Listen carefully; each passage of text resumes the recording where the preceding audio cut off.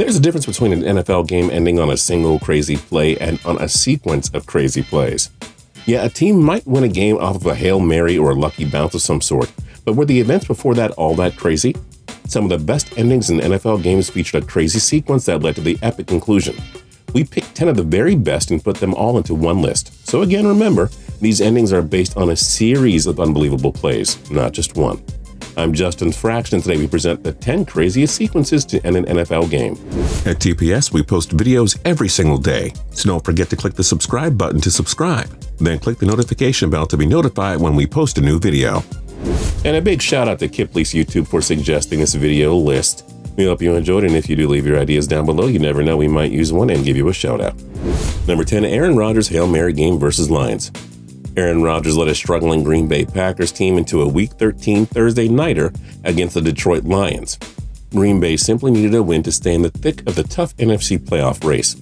Trailing by nine with just over three minutes left, the Packers scored a touchdown to cut the lead to two. But when the Lions converted on the third down before the two minute warning, the game looked all but over. The Packers did get the ball back, but they were stuck at their own 21 yard line with just three seconds left. A lateral play was run and it came up, well, short. But just when it seemed as though Detroit won the game, Devin Taylor was flagged for grabbing Aaron Rodgers by the face mask. So now Rodgers had just one chance at a Hail Mary. And because it's Aaron Rodgers, he made the most of that final opportunity that the Lions gifted to him. Number 9, Super Bowl 49, Circus Catch Stupid Decision. The Seattle Seahawks Legion of Boom clashed with Tom Brady's New England Patriots in Super Bowl 49. Seattle built a 10 point lead heading into the fourth quarter. With that historic defense, there was no way Brady and the Pats could pull it off, right? Wrong. Brady led the Patriots to a pair of clutch fourth quarter scoring drives, and the Seahawks only had two minutes to answer. The Patriots had lost their last two Super Bowl appearances to the New York Giants, courtesy of miraculous catches by David Tyree and Mario Manningham. It looked like they were going to be on the wrong end of another miracle catch when Jermaine Kearse made arguably the greatest grab in Super Bowl history. Marshawn Lynch then ran the ball down to the half yard line, and just when the Patriots looked like they were about to suffer another Super Bowl heartbreak, the Seahawks ended this crazy game with the dumbest play call in NFL history. I mean, pretty awesome sequence of events, and in a Super Bowl nonetheless. Number 8, Nick Folk, two times a charm. The Dallas Cowboys were trying to move to a 5 0 on the season, but the Buffalo Bills and their fired up fans would not make it easy. Tony Romo threw a horrible five interceptions in this game, but the Cowboys' defense kept them in this one. Trailing by eight points with under 20 seconds left, Dallas got a touchdown. Now they needed a two point conversion. Well, after that failed, they needed the onside kick to have any hope, and they got it. The Cowboys set up rookie kicker Nick Folk with a chance to be the hero on national TV. No pressure on the kid who booted a 53 yarder to win it. But Bills head coach Dick Jauron sneakily called a timeout nullifying Folk's game winning kick. Once again, the rookie had to make it for Dallas to escape with the improbable victory. Number 7 Chiefs vs. Raiders flags all around. The Kansas City Chiefs and Oakland Raiders met in Week 7 of the 2017 season. This game was a prime example of how Thursday Nighters don't always have to suck. With the Raiders trailing by six in the waning seconds, Derek Carr found Jared Cook for the apparent game winning touchdown. But officials reviewed the play and determined he was down at the two yard line. And so a crazy sequence began. Michael Crabtree's game winning catch was nullified by a pass interference penalty. The Chiefs stopped Oakland on the final play, but yeah, a Kansas City holding penalty gave Oakland one more chance. The Chiefs stopped the Raiders again, but another defensive holding penalty gave the Raiders another final chance. This time, Oakland made the most of it. Number 6 Colts versus Bucs Monday Night Miracle. Peyton Manning's Indianapolis Colts trailed the defending Super Bowl champions by 21 points in the fourth quarter of a Monday night contest. The Colts scored a touchdown with 3 minutes 37 seconds left to cut the lead down to 14 and the Colts recovered the onside kick. There was some hope. Marvin Harrison caught a touchdown with 2 minutes 29 seconds left, and the Colts had a little more hope. Still, the game was seemingly over at this point, but the Colts forced a punt and tied the game with 35 seconds to go in regulation. Bucs kicker Martin Gramatica had a game-winning 62-yarder block, but the craziness was far from over. Mike Vanderjagt missed a game-winning 40-yard field goal in overtime, but guess what? The Bucs took an unsportsmanlike conduct penalty, Vanderjagt got another chance, and this one barely went in. Even a gimme of a field goal needed a crazy bounce before going through the uprights. My oh my, what a game this was. Number 5, 2015 NFC Divisional Round. Miracle Catch, Hail Mary, Fitz Time. Well, I think it's safe to say that most people thought that Aaron Rodgers' Hail Mary in Detroit would be his only miracle of the 2015 season. I mean, it's not possible to do that twice in a matter of weeks, right? Rodgers and the Packers visited the heavily favored Arizona Cardinals in the 2015 NFC Divisional Round. Arizona stopped the Packers on the fourth down with under three minutes left, and all hope seemed lost in Titletown. Facing a fourth and 20 situation near their own goal line, Rodgers spotted an open Jeff Janis downfield, and he somehow made this miracle catch against that stingy Arizona secondary. Rodgers and the Packers still needed to convert on a Hail Mary, however, which seemed impossible, except it happened because Aaron Rodgers.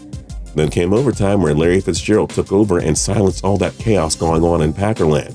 Why can't every NFL playoff game be this exciting? Number 4. Lions and Titans What just happened? The Detroit Lions and Tennessee Titans were among the worst teams in the NFL during the 2012 season, so who on earth could think that these two teams would team up for one of the craziest games in history? This Week 3 contest looked like it would be nothing short of boring and forgettable.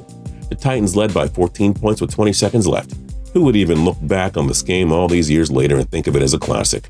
Calvin Johnson caught a touchdown with 18 seconds left, giving the Lions a 1 in 5 billion chance of winning. Next, the Lions needed the onside kick. They got that. Now there was time for a Hail Mary, and they made it. Titus Young caught the miracle pass, and the Lions sent this game into overtime. The Titans kicked a go ahead field goal in overtime, but the Lions drove down into the Tennessee red zone. The Lions went forward on a fourth and one, but the Titans somehow stopped Shaun Hill on a quarterback sneak to win the game. So that was quite the ending, wouldn't you say? Number 3, 2005 AFC Divisional Round, sack, fumble, hero tackle, missed field goal. The Pittsburgh Steelers visited Peyton Manning and the top-seeded Indianapolis Colts in the 2005 AFC Divisional Round. This game looked destined for nothing but yawns and pure boredom, as the Steelers led 21-3 in the fourth quarter. But Manning led the Colts to a nearly miraculous comeback for the ages. They trailed by three points with under two minutes left, facing a fourth and 16 situation right near their own goal line. Manning was sacked on the fourth down and the game appeared over, but because football is awesome, the Colts forced a Jerome Bettis fumble at the goal line. Nick Harper picked it up and nearly returned it for a touchdown, but Ben Roethlisberger made the clutch game-saving tackle. The usually reliable Mike Vanderjagt is needed to make a 46-yarder to force overtime, but because this crazy game needed an even crazier ending, Vanderjagt missed it.